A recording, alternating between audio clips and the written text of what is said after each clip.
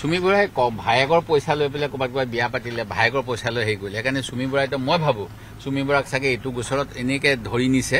তাকতো ধৰিব লগা নাই। ক'ত ক'ত মৰ মৰ ক'ত যাওঁ যা পাব্লিকে ধৰিলে ধৰক বুলি তাক এৰি দিব লাগিছিলে। মেকিং নেকি মোৰ এইটোৱে সন্দেহ হয় মানে আচৰিত কথা এইবিলাক মই শুনি আচৰিত হৈছো।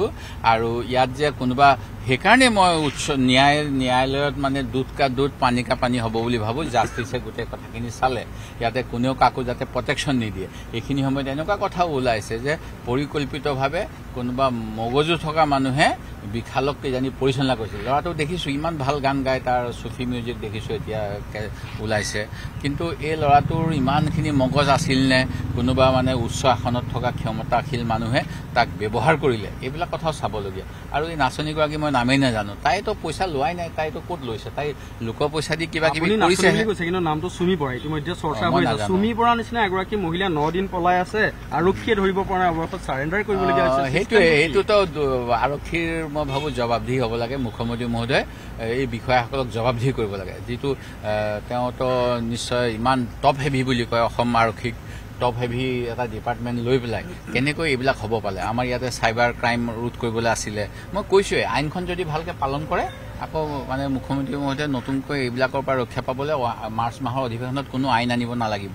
গগৈ ছাৰৰ মন্ত্ৰীসভাত তেখেতেই আছিলে কিজানি বিত্তমন্ত্ৰী। এই বিত্তীয় বিশৃংখলা দূৰ কৰিবলৈ কিজানি তেখেতসকল তেখেতৰে কিজানি সৃষ্টি মই নাজানো বৰ্তমান মুখ্যমন্ত্ৰীৰ সেই গতিকে আইন যথাযথ পালন হোৱা নাই সেইটোৱে ডাঙৰ কথা। আৰু সেইকাৰণে মই জবাবদিহি হ'বলৈ ন্যায়ালয়ৰ ন্যায়াধীশৰ যোগেদি তদন্তটোৰ মনিটৰিং বিচাৰি আছো। কিন্তু মৰিগাঁৱত পীযুষ হাজৰিকাই কৈছে যে কংগ্ৰেছে ট্ৰেডিং কেলেংকাৰী কোনো ধৰণৰ তদন্ত সঠিককৈ হোৱাটো বিচৰা নাছিলে যাৰ বাবে অপপ্ৰচাৰ চলাইছে। একেবাৰে অপপ্ৰচাৰ নহয় এইখন মোৰ হাতত আছে। ইয়াৰে মই তিনি পৃষ্ঠাত বিভিন্ন উদাহৰণ দিছোঁ। মানে মই প্ৰায় বাৰটামান ইনষ্টেঞ্চ দিছোঁ। আৰু ফেব্ৰুৱাৰী মাহৰ পৰাই বাতৰি দ্য নিউজ প্লাছ কোনোবা কিবা কিবি আপোনালোকৰ বহুতৰে তাতে প্ৰকাশ হৈ আছিল যে অসমত এনেকুৱা ঘটিব। ফেব্ৰুৱাৰী মাহৰ পৰা ছমাহ কিয় তেওঁলোকে কাণত কিবা নাকত তেল দি শুই আছিলে আৰক্ষী এইটোও মোৰ প্ৰশ্ন। ইয়াত মই স্পষ্টকৈ এইবিলাক কথা Assam protection of interest of depositor in financial instrument এক দুহেজাৰ তেৰখনৰ কথা উল্লেখ কৰিছোঁ যিখন দুহেজাৰ তেৰ চনৰ এঘাৰ নম্বৰ আইন যিখন অসম বিধানসভাত আমি পাছ কৰিছোঁ।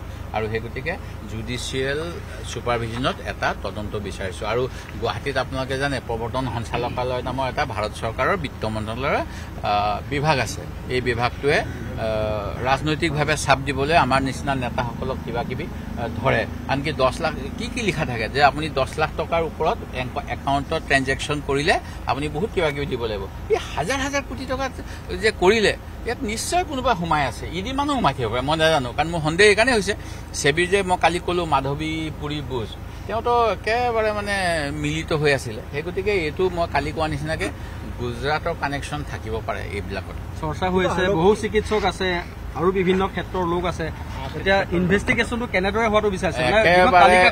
নিৰপেক্ষ দুখীয়া শাস্তি পোৱাকৈ আমাৰ সাধাৰণ ডাঙৰ মানুহখিনিয়ে মানে এইটো ৰবিনহুড টাইপ কৰিলে চাগে। মই জানো ৰবিনহুডো নহ'ব। তেওঁ যদি ৰবিনহুড এটা ধনীৰ পৰা লৈ দুখীয়াক দিছিলে সেইটোতো ধনীকো ঠগিলে দুই নম্বৰী টকাখিনি আৰু দুখীয়া খাটি খোৱা মানুহখিনিকো ঠগিলে বানপানী সাহায্য দিম কিবা কিবি কৈ পেলাই। সেই গতিকে সম্পূৰ্ণ তদন্ত কৰি পইচা ঘূৰাই দিয়াৰ ব্যৱস্থা কৰাকৈ অসম চৰকাৰে পদক্ষেপ লওক তাৰ বাবে গভৰ্ণৰ মহোদয়ৰ লগত আলোচনা কৰি আহিলোঁ। গোলাঘাটৰ এগৰাকী অ চি যিহেতু ষাঠি লাখ টকা ইনভেষ্ট কৰা এটা তথ্য লাভ কৰিছিলে তাৰপিছত নিলম্বনো কৰিলে। আৰু নাম আৰক্ষী DGP হাণ্ড্ৰেড পাৰ্চেণ্ট ডাঙৰ কথা হ'ল চাওক আমাৰ বহুত আইন আছে মই এইটোৱে কৈ আছো। হোটেলত যেতিয়া আমি মানুহ থাকিবলৈ যায় হোটেলৰ পৰা প্ৰতিখন থানাত দুখন তিনিখন ৰেজিষ্টাৰ মেইনটেইন কৰি জমা দিব লাগে। যাতে কোনোবা চুৰ সোমাই আছে নি দগাবাজ সোমাই আছে নি পুলিচে জানিবলৈ। সেইকাৰণে অসম চৰকাৰেতো বিয়াগুম পুলিচ বিভাগত নিযুক্তিও চলি আছে। আমি বিধানসভাত পুলিচৰ নিযুক্তি কৰ্তন কৰা নাই। যেনেকৈ বাজেটত পইচা লাগে তেনেকৈ দি থাকোঁ। এতিয়া কথাটো হ'ল বৰগজ নামৰ এখন হোটেলত ফেব্ৰুৱাৰী মাহত দামী দামী গাড়ী গিফ্ট দিলে এই এনেকুৱা মুৰ্গী ধৰি অনাৰ কাৰণে বেয়া ভাষাত মুৰ্গী আৰু ভাল ভাষাত ক'বলৈ গ'লে ঠগ প্ৰবঞ্চককেইটাই সোজা ৰাইজক সেই কোম্পানীত ইনভেষ্টমেণ্ট কৰিবলৈ আনি দিয়াৰ কাৰণে। এতিয়া গোলাঘাট জিলাততো আৰক্ষী আছিলে এখন থানা আছিলে তেওঁলোকে কেনেকৈ দুই তিনিদিনীয়া কনফাৰেন্সখন হ'বলৈ দিলে? সেই গতিকে নিশ্চিতভাৱে মানে কি কয় মেকুৰী ডিঙিত টিলিঙা আৰিব কোনে নিচিনা হৈ গৈছে অসম আৰক্ষীৰ ওপৰত স্বাভাৱিকভাৱে আপুনি প্ৰশ্ন তোলাৰ নিচিনাকৈ সন্দেহ আহি পৰিছে।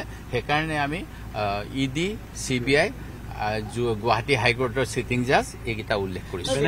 দেখা পোৱা গৈছে কিছুমান ইউটিউবাৰে প্ৰমোট কৰিছে তাৰ পাছত বহু সাধাৰণ লোকে এই ট্ৰেডিঙত টকা লগাইছে। গোটেইবিলাককে আওতালে আনক। কিন্তু আপুনি নাম এটা ক'লে চুমি বৰা। চুমি বৰাই ভায়েকৰ পইচা লৈ পেলাই ক'ৰবাত ক'ৰবাত বিয়া পাতিলে ভায়েকৰ পইচা লৈ হেৰি কৰিলে। সেইকাৰণে চুমি বৰাইতো মই ভাবোঁ চুমি বৰাক চাগে এইটো গোচৰত এনেকৈ ধৰি নিছে।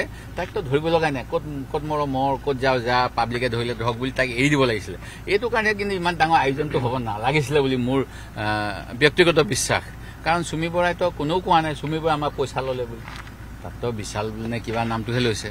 সেই গতিকে এইবিলাক মেকিং নেকি মোৰ এইটোৱে সন্দেহ আপুনি বিচৰা বাতৰি পাব কেৱল নিউজ এইটিন এপত। নিউজ এইটিন এপ ডাউনলোড কৰিবলৈ স্কেন কৰক এই Q R code Google Play ষ্টৰতো পাব এই নিউজ এইটিন এপ